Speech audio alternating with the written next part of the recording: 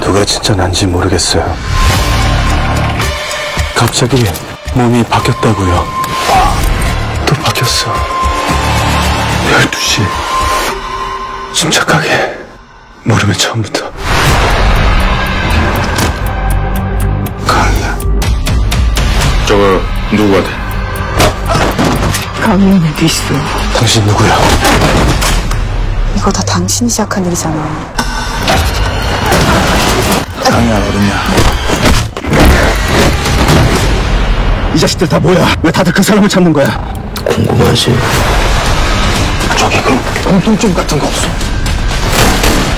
내가 그 사람인 거 강이 아니야. 어떻게 감당하려고 그래?